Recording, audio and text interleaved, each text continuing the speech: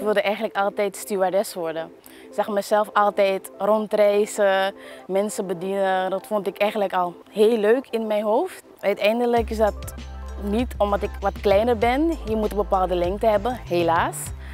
Maar dan nog, ik, heb, ja, ik ben niet op gaan geven. En nu ben ik hier als postbode al twee jaar. Ik ben via mijn stiefvader bij de post. Die werkt al drie jaar voor mij eigenlijk, dus nu al vijf jaar. En die heeft mij zeg maar, ja, het is een leuke en toffe job. Wil je dat ook niet proberen? Ik zeg oké, ik ga me maar aanmelden.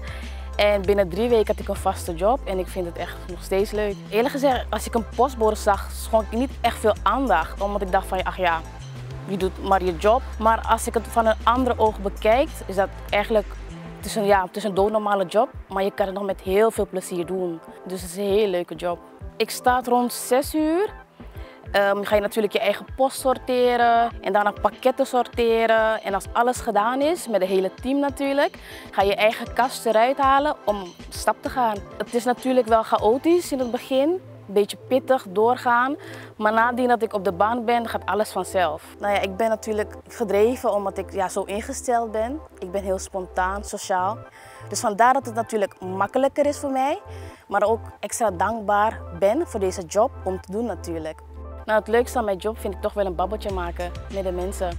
Als je een pakketje komt afleveren, dat je toch even een gedag zegt dan natuurlijk gewoon met een glimlach weggaat. Ik krijg vaak ehm, toch wel aanbieding, wil je wat drinken of wil je wat eten. Al is het een uh, ja, muesli of uh, die roepen mij terug, kom ik heb een colaatje, wil je een colaatje drinken? Wij gaan zowel met de fiets of de auto, maar ik doe het liever te voet, want dat vind ik veel fijner. Mijn advies voor anderen is natuurlijk, um, blijf jezelf, blijf in jezelf geloven. Als je iets wilt bereiken, hou vast, maakt niet uit hoe lang het duurt. Je komt er wel, zolang je maar positief blijft en altijd blijven lachen. Echt een dag niet gelachen is een dag niet geleefd.